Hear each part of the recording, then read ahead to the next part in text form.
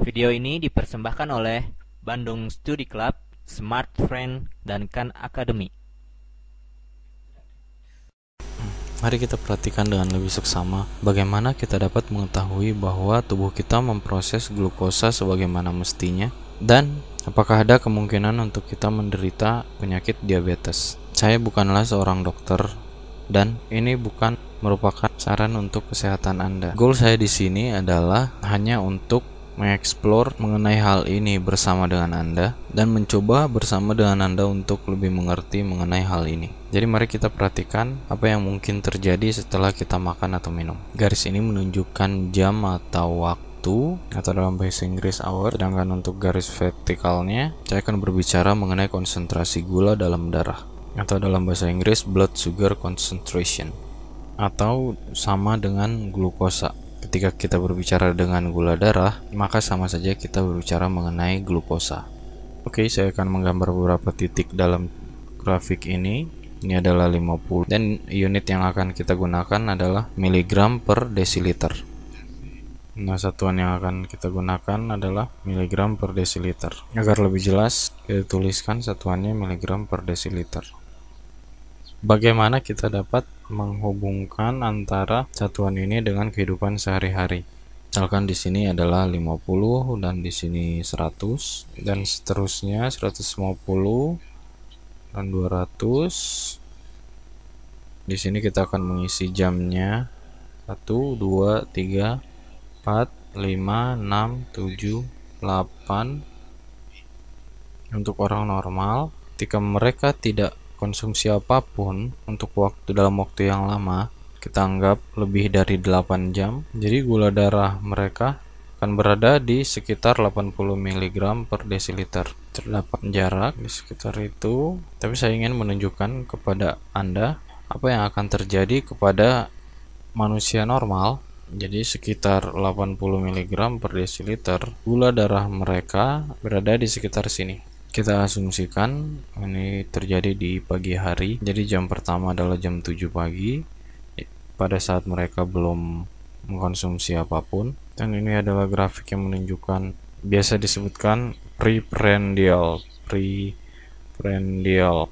Preprandial berarti sebelum makan. Dan setelah makan disebut dengan postprandial. Oke mari kita asumsikan pada jam kedua orang ini uh, melakukan sarapan nah jadi di jam kedua ini orang ini mau melakukan sarapan kita garis Nah, biasanya pada sarapan akan terdapat beberapa karbohidrat dalam menu sarapannya. Karbohidrat ini akan diproses oleh tubuh menjadi glukosa dan glukosa akan memasuki aliran darah. Maka glukosa dalam darah akan meningkat. Dan saya pernah membaca sebuah penelitian, kira-kira 45 menit setelah makan, maka grafiknya akan seperti ini. Sedangkan pada uh, individu normal kadar glukosa dalam darah seharusnya tidak boleh melebihi dari 120 mg per desiliter. Dalam hal ini kita asumsikan menu sarapan yang normal oleh orang normal juga dalam artian menu yang tidak mengandung gula yang berlebihan atau orang yang tidak memiliki penyakit diabetes. Setelah satu atau dua jam, kadar gula darah akan kembali e, ke e, normal, yaitu di bawah 100 mg per desiliter. Dan setelah dua jam e, gula darah akan kembali ke kadar normal yaitu sekitar 80 mg per desiliter. Jadi ini adalah uh, kadar gula darah normal yaitu 80 mg per desiliter. Sebenarnya tidak harus tepat 80 mg per desiliter, 85 mg per desiliter masih bisa dikatakan normal. Oke, sekarang kita membicarakan mengenai orang yang uh, mengidap penyakit diabetes. Apakah itu penyakit diabetes tipe 1 dan mereka tidak mendapat cukup insulin untuk memproses glukosanya atau mereka memiliki insulin yang cukup tapi tubuh mereka tidak sanggup untuk memproses insulinnya sehingga mereka tidak dapat tubuh mereka tidak dapat memproses glukosanya. Kita akan melihat uh, bahwa konsentrasi glukosa akan meningkat. Jadi jika suatu saat Anda bangun di pagi hari dan melakukan tes glukosa darah menggunakan alat yang bisa Anda beli pada apotik dan menemukan bahwa kadar glukosa dalam darah Anda adalah di 140 mg per desiliter, Anda harus e, melakukan beberapa kali tes untuk meyakinkan hasil tersebut adalah betul. Dan jika sudah yakin hasilnya benar, maka Anda seharusnya menemui dokter untuk memeriksakan kadar gula Anda.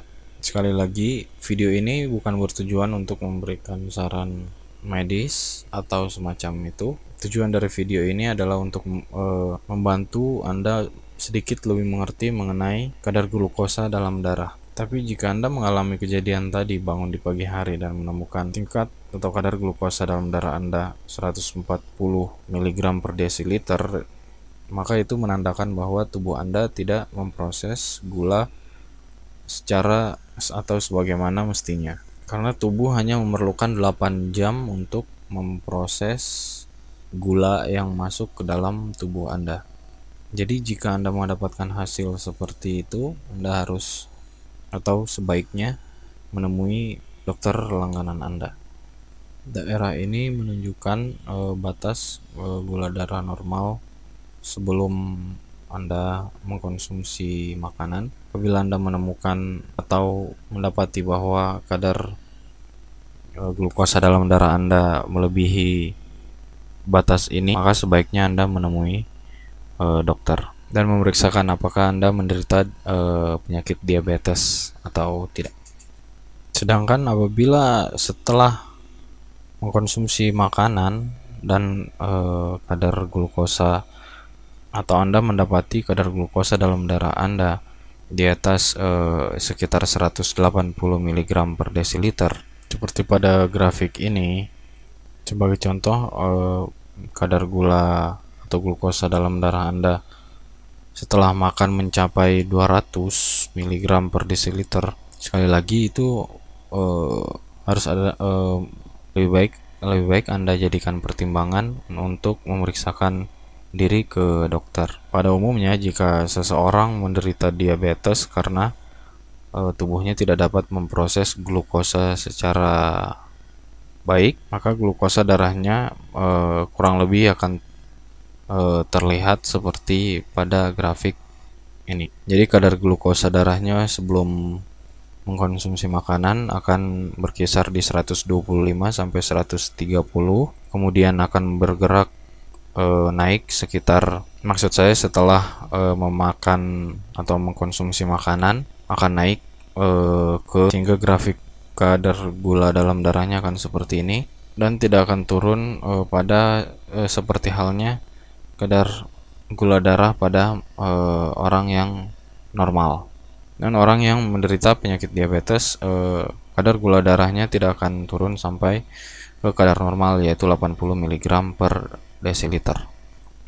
Jika kadar gula darah dalam tubuh Anda uh, menunjukkan level seperti pada grafik yang saya gambarkan, mungkin Anda ha uh, hanya perlu untuk menyesuaikan gaya hidup Anda karena uh, ada kemungkinan Anda beresiko untuk uh, menderita uh, diabetes.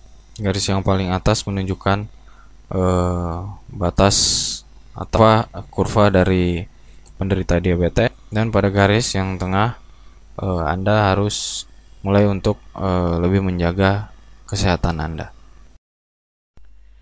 Video ini dipersembahkan oleh Bandung Study Club, Smart Friend, dan Khan Academy.